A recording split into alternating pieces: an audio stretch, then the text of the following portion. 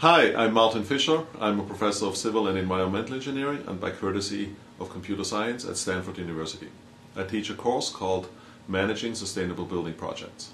Buildings affect our well-being and our productivity, but they have a large impact on the environment through their use of resources like materials and energy, which contributes to global warming.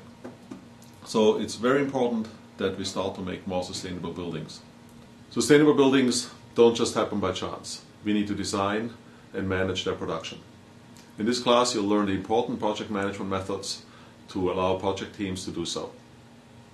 This class will show you new methods that overcome the limitations of traditional project management, which focuses on minimizing building and construction cost, often to the detriment of long-term environmental, social and economic performance of buildings.